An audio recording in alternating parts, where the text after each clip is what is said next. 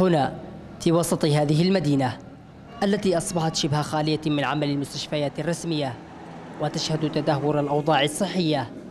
تسعى المنظمات والجمعيات الإغاثية إلى التخفيف من معاناة الناس بوسائل متعددة كانت أبرزها.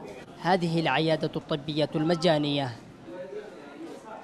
طبعا فكرة العيادة الطبية المجانية جاءت آه، من معاناة تعز من المستشفيات تئن أصبحت أكثر من من الأمراض نتيجة للقصور العام في بعض الأدوية وفي المستلزمات الطبية وكمان في الدعم المالي. وبالتالي كمان بعض المستشفيات أصبحت يعني تئن يعني بدأ ينفذ فيها الأكسجين.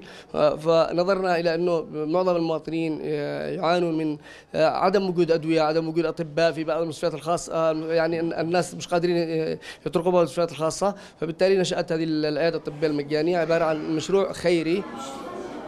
بأبسط الإمكانيات استطاعت هذه العيادة توفير بعض الأدوية التي يحتاجها المرضى هنا في محاولة تقديم خدماتها لهم خصوصا وأن زوارها بالعشرات خلال اليوم الواحد في هذا الشهر.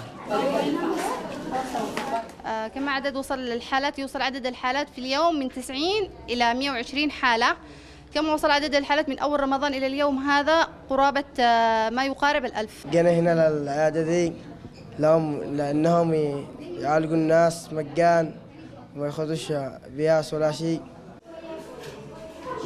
يناشد القائمون على هذا المرفق الجهات الرسمية ومنظمات المجتمع المدني من أجل العمل على استمراريتها في مدينة لا زال أعداد جرحاها في ارتفاع متزايد جراء الحرب الدائرة وقصف الميليشيا لأحياء المدينة.